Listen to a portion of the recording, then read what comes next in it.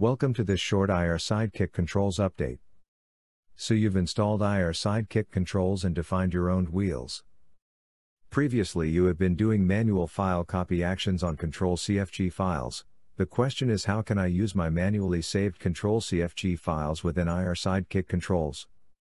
Let's walk through the process that solves that problem. We are going to drag previously saved copies of control CFG files into IR Sidekick controls. These files can come from any location and have any file name. IR Sidekick controls will not delete or alter these files, they are merely copied. The process is the same as saving the active wheel to a specific wheel. The only difference is drag and drop initiates the procedure. Select a car.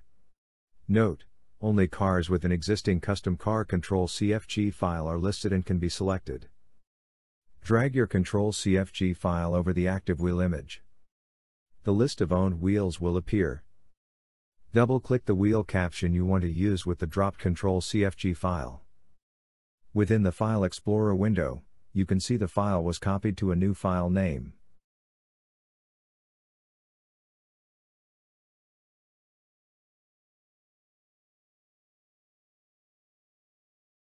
You can abort the copy by not selecting an owned wheel. Instead, press the Escape key. Unfortunately this process can only be done one file at a time.